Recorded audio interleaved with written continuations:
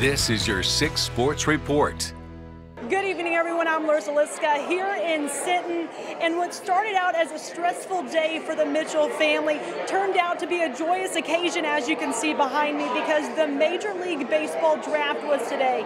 And senior catcher Blake Mitchell was drafted eighth overall by the Kansas City Royals. Here's that special moment.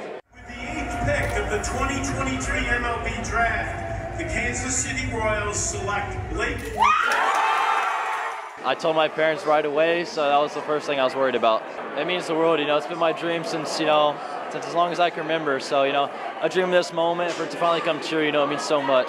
Uh, it was a sigh of relief. I wanted to cry. yeah, so uh, full of emotions for sure. The two time Texas Gatorade Player of the Year and 2022 UIL State Champion was selected as a catcher by the Royals, a relationship that has already started developing well before the draft sitting here in the draft room with all the scouts, and we're going to make you a Kansas City Royal. You ready to come help us win a championship? I just want to go play ball. You know, I haven't played in about a month, so it feels like forever. I just I'm happy to get back on the field and just, you know, prove the Royals right that they made the right decision. Through this whole process, about a year ago, we started having home visits where these major league teams and scouts come into our home and visit with us and honestly, we had an instant connection with the Royals, and it you know it was it was really a dream come true.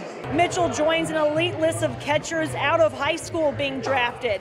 But it was an easy sell for head coach Adrian Alanis. My job as his coach was just trying to answer all the questions for the scouts and all the GMs that kind of come through and try to sell that product, which we all know what Blake was capable of doing. And, you know, he showcased that so much on the field for the four years he was here with us. While his defensive talent behind the plate and power at bat was showcased on game day, it was the extra work he put in with his father, Kevin. Official. That's time that we'll never get back, right? I mean, so, I mean, I spend as much time with Blake as I possibly can. If he says, hey, I want to go hit at 2 o'clock in the morning, we go hit. So, uh, yeah, I never have told him no. The best part of the draft for the Mitchell family was celebrating with family, friends, and Pirate Nation. Yeah, it was great, you know, having all these people here. Just, I love every single one of them. So, you know, I'm just happy they're here for me and my family.